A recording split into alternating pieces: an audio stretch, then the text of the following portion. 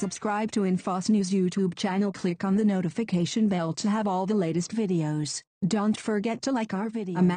Actress Sonja Sohn, who played a detective in the HBO series The Wire, is facing charges of felony possession of cocaine and possession of drug paraphernalia. The sheriff's office in Dare County, North Carolina, says Sohn, whose legal name is Sonja Plack, was arrested after midnight Sunday in Manteo on the Outer Banks. Authorities say it happened after a traffic stop. Sohn was a passenger in the vehicle. The sheriff's office says a canine detected the smell of drugs, and a purse with cocaine and drug paraphernalia was found after a search. Bail was set at $1,500 for the 55-year-old actress, and she was released from the county detention center. An arraignment is scheduled for Tuesday. Sohn also has had roles in TV series including The Chi and The Originals.